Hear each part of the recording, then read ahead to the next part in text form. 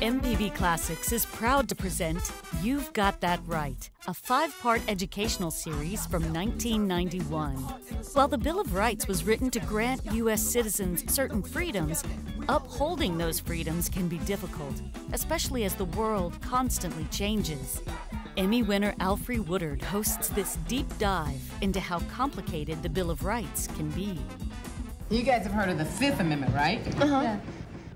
I refuse to answer that on the grounds I might incriminate myself. That's right. Now, that's an easy one. You see it on the TV shows all the time, but what does it mean? It means that if you're in court for a trial, you don't have to testify against yourself as a witness. And if the police arrest you for something, you don't have to answer their questions if they're trying to get you to admit that you did it.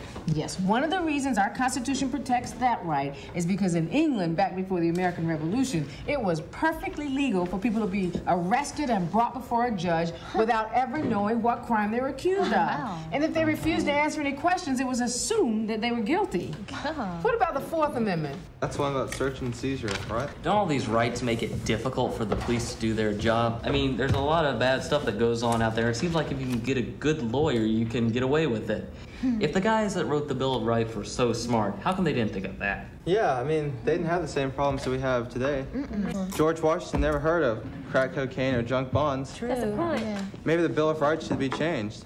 Maybe. Well, it wouldn't be the first time that people felt that an amendment to the Constitution needed changing. But let me tell you something. Mm. The guys that wrote these words were fed up. They did not want to live another day under laws that could be changed at the whim of leaders that felt like changing them. Yeah. They wanted their rights guaranteed in writing. So they establish a nation of laws and not men. Yes! Yeah. I mean, they may not understand the problems that we have in this country today, but they sure would understand being fed up and wanting to make changes. Yeah, that's yeah. right. That's the great thing about the Constitution. It can take it.